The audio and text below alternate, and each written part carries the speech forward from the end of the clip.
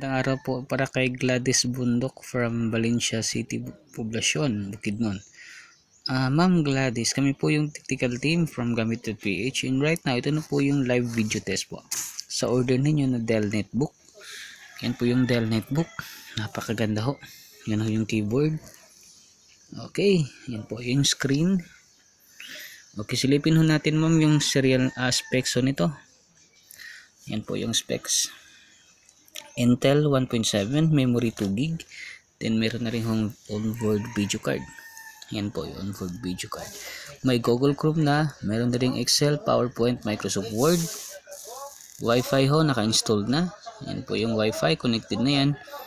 Battery still in very good condition. Ayan po, 4 hours and 30 minutes, 78%. Hard disk po nito, naka-partition na ma'am.